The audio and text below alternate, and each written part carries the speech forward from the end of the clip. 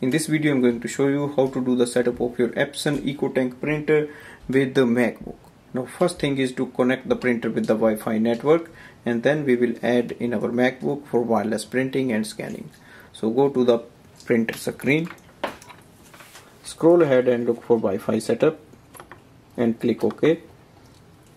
Click Wi-Fi recommended, click OK to proceed, select Wi-Fi setup wizard. Select your Wi-Fi network and click OK. Enter the password. So once we connect it with the Wi-Fi network you will see the main screen with the Wi-Fi signal on the top. Now go to your MacBook. Go to the system preferences printers and scanners. In this screen you will see a list of printers now click on the plus button and it will display the available printer series.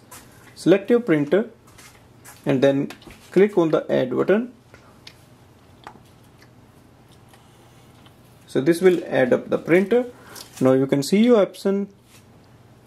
No, you can see your Epson printer here. You, if you want you can start printing. If you want to do scanning click on the scan button and open scanner and you can place a page for the scanning and you can start the scanning as well.